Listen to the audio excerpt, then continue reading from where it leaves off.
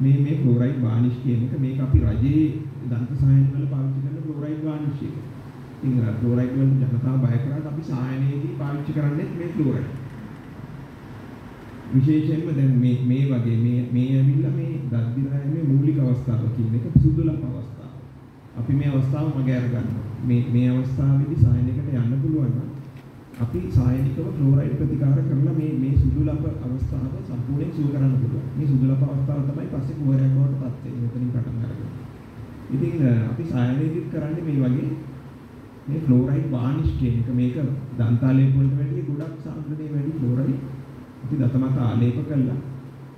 ඒ දත් දිරායම අවම කරගන්න අවශ්‍ය කරන කටයුතු කරනවා.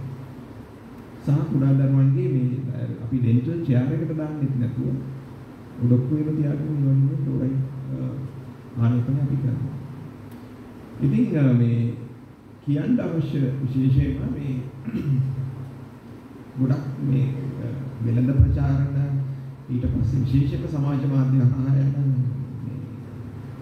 ප්‍රචාර කියන්නේ ක්ලෝරයිඩ් විශේෂයික සංයෝගයක් කියන එක. ඒක අපිට සැලකිය යුතු දෙයක්. මොකද අපි දන්ත වෛද්‍ය වෘත්ති කීමේදී අපිට කීමක් තියෙනවා අපි නගා කරගත්තු ඉලක්කය.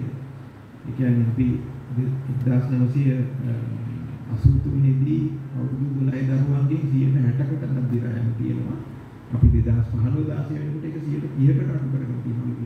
කියන්නේ විශාල දෙයක් ළඟා කරගෙන තියෙනවා. ඒක අපි එක එක 100ට එකකින් දෙකකින් වැඩි වුණත් ඒක අපිට අපි ආපහු පිටිපස්සට යනවා. ඉතින් ඒක නිසා මේ නියමගේ වැරදි ප්‍රචාරණයන් සම්බන්ධයෙන් ජනතාවගේ අවධානය යොමු කරන්න සහ හරි දේ කියන්නේ මේ ක්ලෝරයිඩ් කියන්නේ එහෙම නරක දෙයක් නෙවෙයි. ඒක අපේ සෞඛ්‍යයට අත්‍යවශ්‍ය දෙයක් ලෝක සෞඛ්‍ය සංවිධානය පිළිගත්තු දෙයක් කියන එක ජනතාව අතරට ගෙනියන්න තමයි අපේ අවශ්‍යතාවය. මොකද එහෙම නොවුනොත් නැවතත් අපි පිටිපස්සට යන්නේ අතීතයට යන්නේ ජනගහනයේ වැඩි පිටසක් දද්දිරායම දද්දිරායම නිසා පීඩා විඳින තත්ත්වයක් තමයි ඉස්සරහට uh, da 21 agosto